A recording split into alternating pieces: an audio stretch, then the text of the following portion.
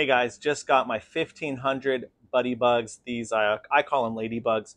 Um, I'm gonna release these out into the backyard right now. A couple pro tips when you get these is you wanna release these at nighttime. You don't wanna do it in the heat of the day. Um, also, you can store these in your refrigerator for up to two weeks. So you don't have to release them all at the same time. Not your freezer, but your refrigerator. Um, I when I got home, I put them in my refrigerator and they kind of went dormant in there. They kind of like basically are sleeping. Um, so now I took them out about 10 minutes ago. You can see they're super active. They're all waking up.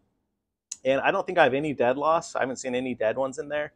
So overall, good quality with Buddy Bugs. Um, good brand. I got it very quickly as well. So uh, make sure also before you um, put them out on your plants, make sure that you water your plants uh, first so that the leaves are nice and wet.